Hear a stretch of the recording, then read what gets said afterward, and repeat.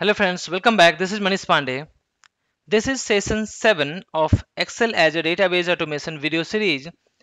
In this I'm going to show you why do we get this error and how to resolve this error.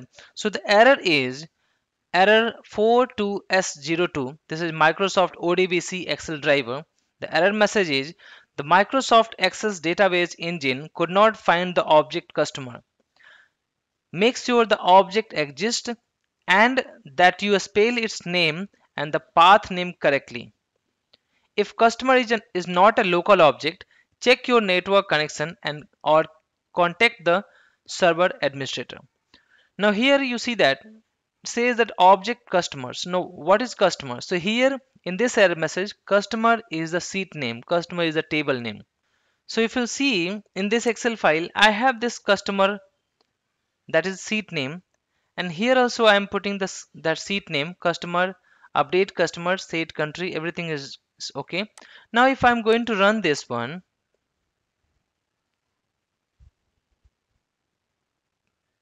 so you can see I'm getting the same error. So why are we getting this error? Because this object this customer is the seat name.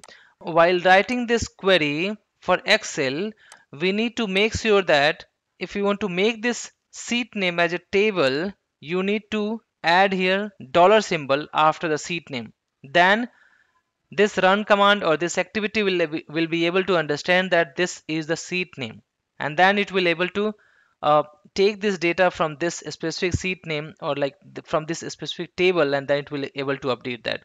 If will not put here dollar it will throw an error. Now I have just added a symbol here that dollar symbol now I'm going to run that so it will work fine. And now this run command activity will able to find that customer seat here. And now it will able to update the data in that specific customer seat. So here the only fix is you need to add a dollar symbol and by this way you can fix that issue. I hope this is useful.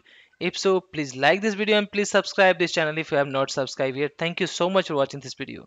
If you want to learn Blue Prism, please visit my YouTube channel youtube.com slash Blue Prism RPA. And also, if you want to learn Blue Prism from Udemy and you want to get certificate, you can search for my Blue Prism course th there. That is Blue Prism RPA complete course. I will also put the link in, in my video description. You can go through that there. Thank you.